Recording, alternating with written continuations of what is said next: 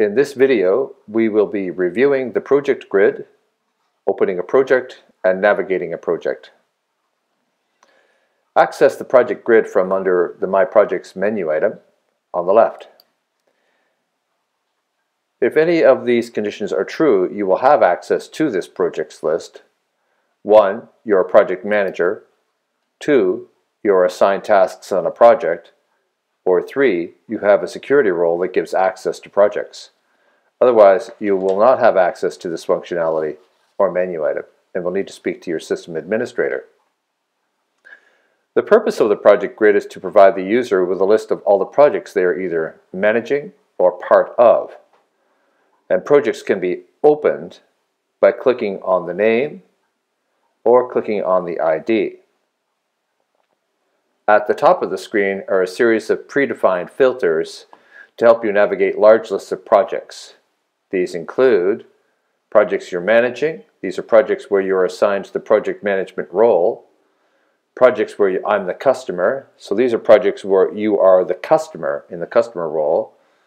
My open projects. This is where projects are in a state that is equal to active. My closed projects where the state is equal to closed all projects and projects created by me. We can add columns to the grid by clicking on the downward chevron on any of the columns and adding our new columns. We can then sort our columns by clicking on the column header and dragging it to the desired location. We can filter most of the columns by clicking on the downward chevron selecting the filter and filtering it. We can create a cumulative filter by filtering on more than one column. For example, we'll filter on unassigned.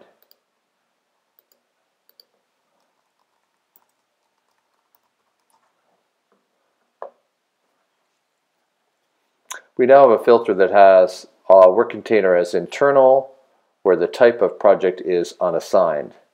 We can now take this filter, click on our Personalize button, give it a unique name, save those changes, and they will show up in our project filters list. When we want to get rid of that, we just click on the X. You can set a custom filter as your default filter by clicking on the checkbox next to the filter name. The next time we open up the project grid, this filter will be the default filter. In our case, we're going to leave our filter as My Open Projects. The pie chart in the task column shows us quickly how many open or closed tasks we have. In the ID number field, we have a series of graphics in color. We have red, green, and we have gray or black. The red project graphic tells us that the number of charged hours to task is less than 75% of the assigned hours, while the green tells us that the charged hours is greater than 90% of assigned hours and the black tells us that there are no assigned hours for any task in the project. This completes our examination of the project's grid. Now we'll review the project itself.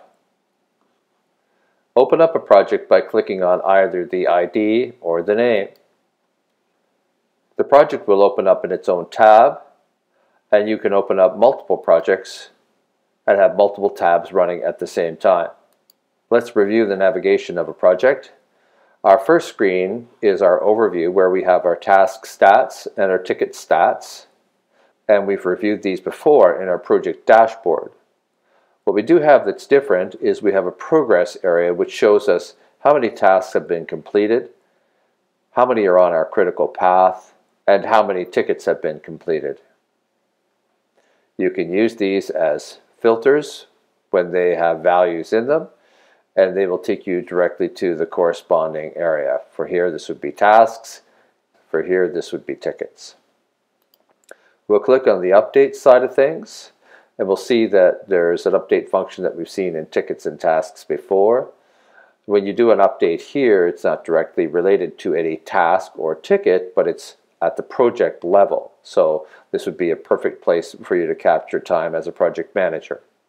Of course, from here you can also upload files and you can set notifications.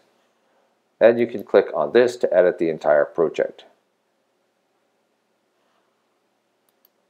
The Project Details tab gives us a summary of what is inside of the project. We've got our metrics from our Gantt chart, our initial description, our important dates, and our categorizations. From the roster tab, we have all of the folks who are going to be working on the project. You can see what their job titles are and their contact information. If we want to manage the roster, we click on the blue button, the project gets opened up and takes us directly to the rostering area.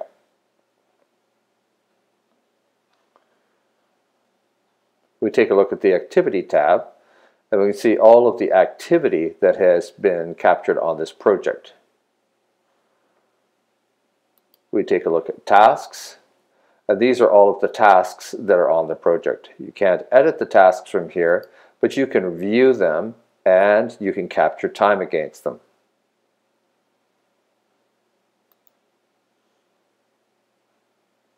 If the task is a summary task, as you can see here, you cannot capture any uh, time against this particular task, but you can make comments against it and set notifications and let people know what's going on. Uh, our Gantt view, we can see the tasks that are listed along the left side and the Gantt chart that's listed along the right side. We can click a full screen Gantt view and get a larger view of the system. Just go back to our normal view. We'll be digging into the Gantt in great detail in a video called The Gantt. Let's take a look at tickets. The tickets tab is a special queue for the project. Every project has its own ticket queue and all issues, change requests, uh, tickets, etc. can be captured against a particular project and then managed by the project manager. Our file section is where we would store all of the files that are associated with the project. Let's click on this other project over here and see if there are any files. Any file can be stored against a project. It is simply a document storage area. We'll take a look at our time tracking. Any time that has been captured on the project in terms of work from any of the staff that are on the roster will show up here in the time tracking view. At the bottom of the view, you'll have a total of the total amount of time that's in the project. Our Financials tab captures the benefits, budget, and costs in a number and a summary statement, as well as an area for us to put our documents so they can be accessed easily. These are isolated uh, from our file section as the budgets, costs, and benefits may be of a more sensitive or confidential nature. So we've isolated them for you. And our status update we want to do a status update to our project roster, our customers or executives. We perform our status updates here by clicking on the blue status update button. This pulls information from the project into this report, allows us to update a number of fields, save our changes, and then distribute the document amongst our peers and executives and customers. That's it for this video. Our next video will be creating a project.